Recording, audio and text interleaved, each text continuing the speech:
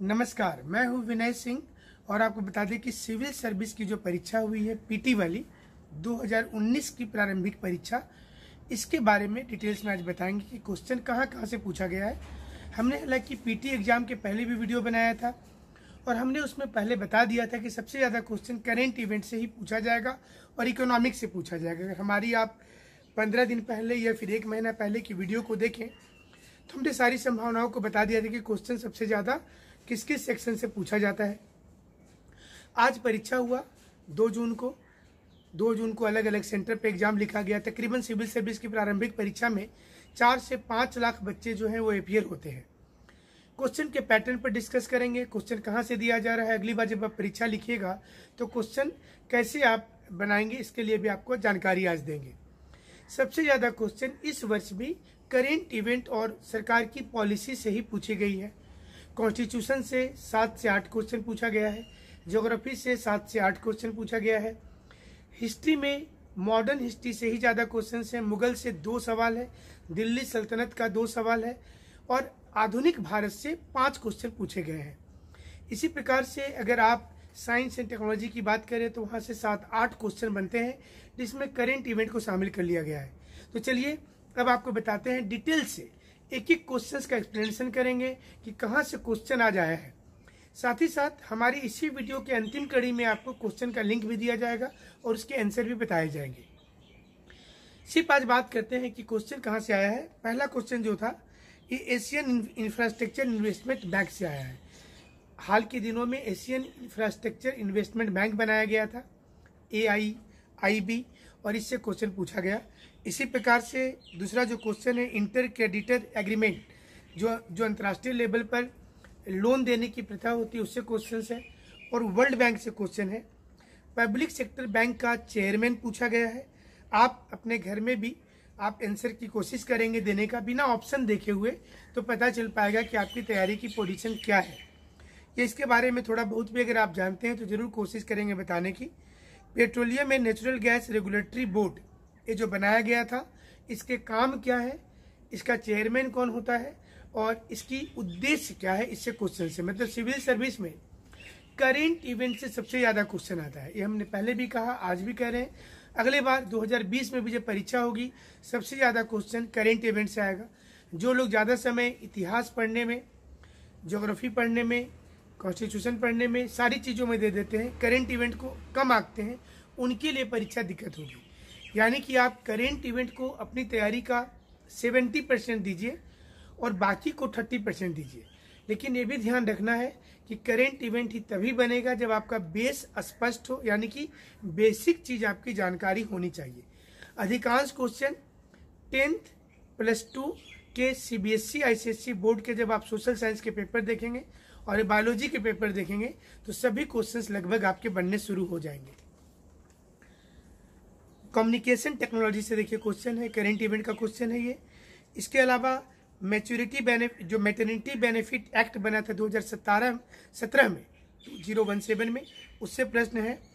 और साथ में ईज ऑफ़ डूइंग बिज़नेस ये वर्तमान में सबसे चर्चा में था विषय तो इससे भी क्वेश्चन पूछा गया है।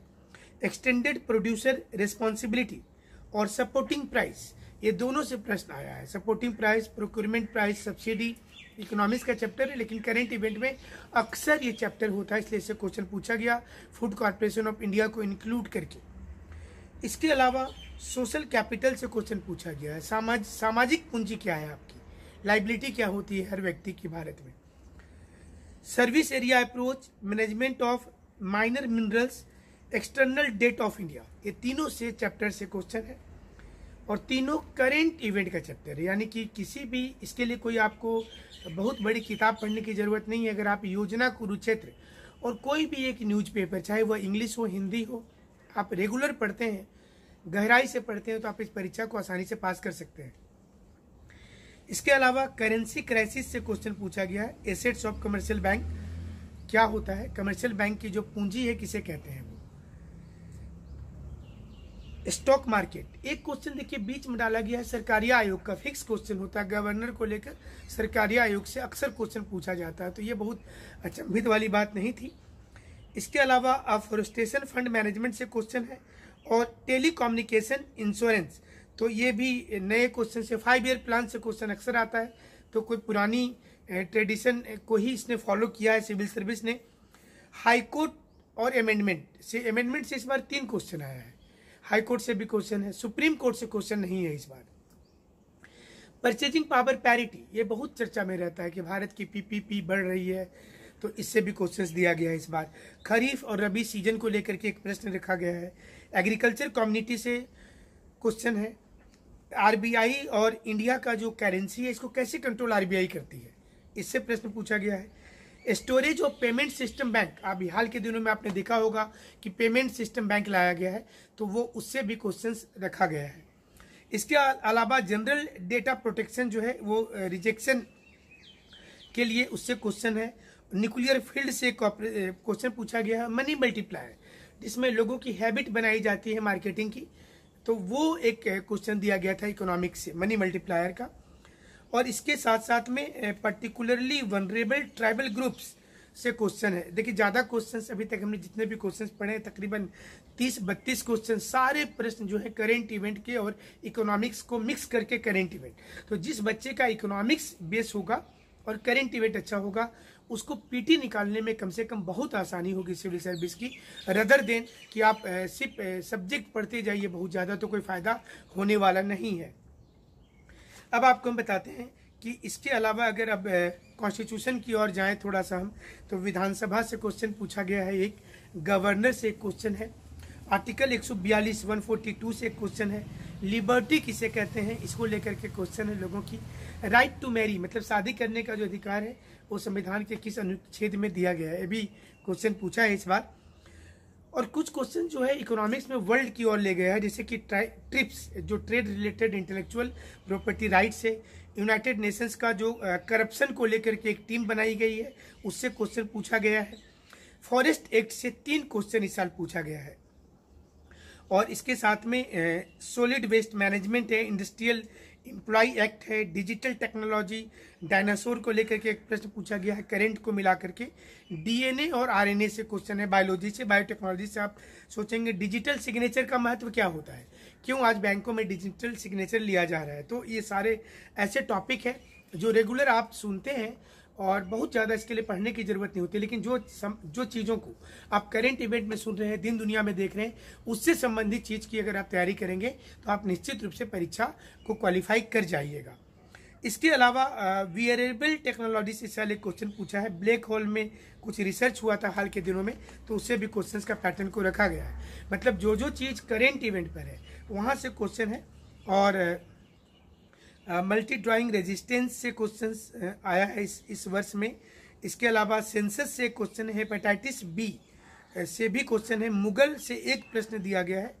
लैंड रिफॉर्म से क्वेश्चन है। ग्लोबल कॉम्पिटिटिव रिपोर्ट जो आई है रिसेंट वाली चार्टर एक्ट 1813 का। तो सारे चार्टर एक्ट आपको पढ़ने होंगे। थोड़ा सा मुश्किल होता है। इसलिए हमने कई बार बोला कि आप कॉमन चीज़ तो पढ़ लीजिएगा, जैसे स्वदेशी मूवमेंट से प्रश्न आया है तो स्वदेशी मूवमेंट इतिहास पढ़ते समय हर कोई बताता है कि इसको आपको पढ़ना चाहिए।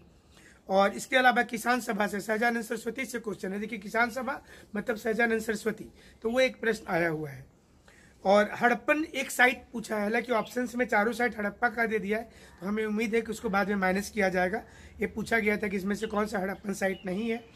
अशोका के एडिक्ट के बारे बोला गया है कि किसमें अशोका के नाम का उल्लेख है? बौद्ध धर्म से एक प्रश्न, गुप्त काल से एक प्रश्न और पुराने समय की जो ट्रेड रिलेशन थी, आज हमने उससे क्या क्या चीज़ बोरो किया है? ये प्रश्न पूछा गया था। इसके अलावा वाइल्ड लाइफ सेंचुरी से इस बार तीन क्वेश्चन है। रिवर सिस्टम देखिए रिवर सिस्टम से जो क्वेश्चन आता है, उसमें हमेशा ही पूछा जाता है कि रिवर के किनारे कौन सा शहर है और किस क्लाइमेटिक कंडीशन में कौन सी नदी बहती है। गरीबी से प्रश्न है मतलब फिर इकोनॉमिक्स की ओर चला गया। इसके साथ में क्लाउड से इस साल दो क्वेश्चन पूछा गया है। एक तो प्रेसिपिटेशन को लेकर और एक बार साइरस क्लाउड को लेकर के पूछा गया है क्वेश्चन इसके अलावा एलिमेंट से क्वेश्चन है। बायोस्फेयर रिज़र्व से दो प्रश्न आए हैं। टर्टल को लेकर के आया है वाइल्ड लाइफ सेंचुरी से है इन्वायरमेंट से तीन चार क्वेश्चन है इस बार। दिल्ली सल्तनत से एक क्वेश्चन भक्ति मूवमेंट से दो क्वेश्चन ब्रिटिश पॉलिसी से क्वेश्चन आए हैं। और तानसेन मुगल साम्राज्य से क्वेश्चन है। अल्पाइन वेजिटेशन पूछा गया है। पार्लियामेंट एक्ट कोयला से संबंधित भी कुछ क्वेश्चन हैं। Atal innovation twenty first June का महत्व क्या है? उस दिन सन की पोजिशन से संबंधित प्रश्न था। सॉइल मिनरल और जो सीएनजी गैस है, इसे एक एक क्वेश्चन है। क्लाउड से क्वेश्चन फोर्टी फोर्थ और नाइन्टी नाइन्थ अमेंडमेंट आया है। चवालीसवा और उनचास, जो नाइन्टी नाइन्थ अमेंडमेंट है पार्लियामेंट में कानून कैसे बनता है, मोशन को लेकर के उससे प्रश्न है, शेड्यूल से दो प्रश्न है। एक तो पूछा गया था कि किस शेड्यूल में एस वाला है और एक में पूछा गया था कि जब नाइन्थ शेड्यूल बना उन्नीस इक्यावन, उसमें भारत के प्रधानमंत्री कौन थे? तो बहुत आसान था प्रश्न। यूपीएससी का फेवरेट क्वेश्चन होता है कि Caspian Sea Black Sea Red Sea के किनारे कौन कौन सा देश है? तो आया है क्वेश्चन और रामसर कन्वेंशन भी हर साल क्वेश्चन पूछा जाता है। तो अगर आप देखेंगे तो देखिए, ट्रेडिशनल क्वेश्चन अब आप देख लीजिए।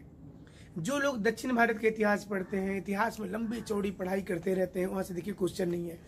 आप दुनिया भर का मानव भूगोल पढ़ करके जाएँगे, क्लाइमेट पढ़ के जाएँगे, वहाँ से क्वेश्चन नहीं है।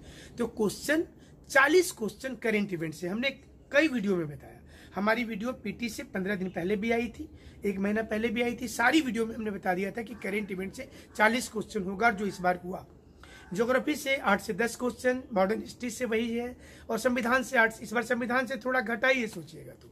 और जो आया, बहुत ईजी था क्वेश्चन तो हम उम्मीद करते हैं कि आप सभी लोगों का पीटी परीक्षा निश्चित रूप से निकलेगा।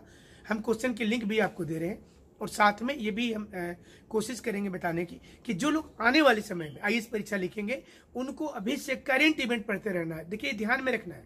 करेंट इवेंट जो होता है, आपको लगेगा कि नया घटना घटता है, लेकिन पुरानी चीज़ों को जानते रहिएगा, तभी जाकर के आप नए को लिंक करिएँगे नए को जोड़ेंगे तो आपका ज़्यादा इजी हो जाएगा। योजना कुरुक्षेत्र रेगुलर पढ़िएगा। हिंदू न्यूज़पेपर पढ़ते हैं तो बहुत अच्छी बात है। आज तो नेट का जमाना सारी चीज़ आपको मिल जाएगी। हमसे आप ऐसे ही जुड़े रहिएगा, जुड़ने के लिए बहुत बहुत धन्यवाद बहुत बहुत शुक्रिया।